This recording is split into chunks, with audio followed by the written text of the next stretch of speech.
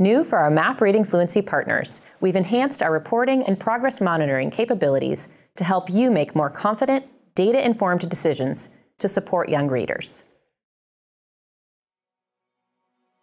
Let's start with the new Screener Outcomes Report. This report brings key screener related data points together to help educators more easily analyze the data and make better informed decisions. The report includes some existing data points, like the Universal and Dyslexia Screener outcomes, showing flagged and not flagged. It also includes scaled words correct per minute data for students who complete the oral reading benchmark. The Screener Outcomes Report also includes some new data points that we are excited to introduce. For students assessed in foundational skills content, the report will include their scaled domain scores and the related achievement status user norm percentile for each of the three foundational skills domains. Scaled scores are well suited for comparing student scores with each other and comparing student scores across time points, grades, cohorts, and other student groups. The Screener Outcomes Report presents the scaled domain scores, user norms, oral reading rate, and screener outcomes in a streamlined, user-friendly format with several options for filtering and sorting the report data. By organizing this important information in a single report, educators can quickly and reliably identify the students who would benefit from additional classroom resources and increased instructional intensity. New this summer, we've added progress monitoring for foundational skills. In addition to the existing oral reading fluency progress monitoring, you will be able to monitor progress in two foundational skills domains, phonological awareness and phonics and word recognition.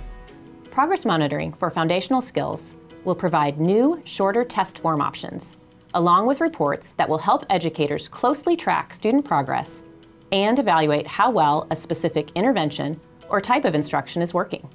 The progress monitoring data will be shown in a time series line graph that plots the foundational skills scaled domain scores we just talked about for each progress monitoring test.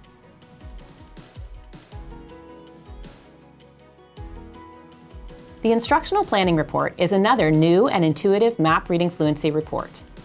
This visual, actionable tool provides class and student level insights on foundational skills performance from English and Spanish benchmark tests to help teachers more efficiently plan instruction.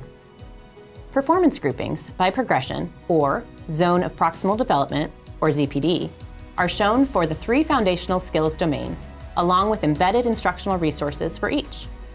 The report view can be expanded to show the specific students that are at a similar point or ZPD level, coupled with curated instructional resource links to in-class activities and other tools aligned to each of the levels.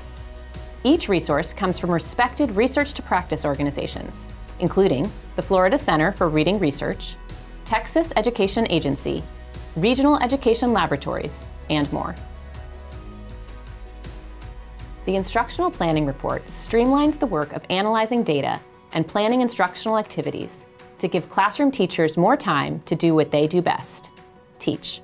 We hope the enhanced reporting and progress monitoring features in Map Reading Fluency help you make more confident, data informed decisions to support young readers.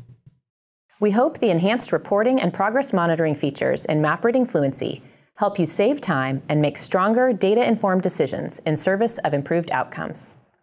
To learn more, talk to your NWEA account manager or visit nweA.org.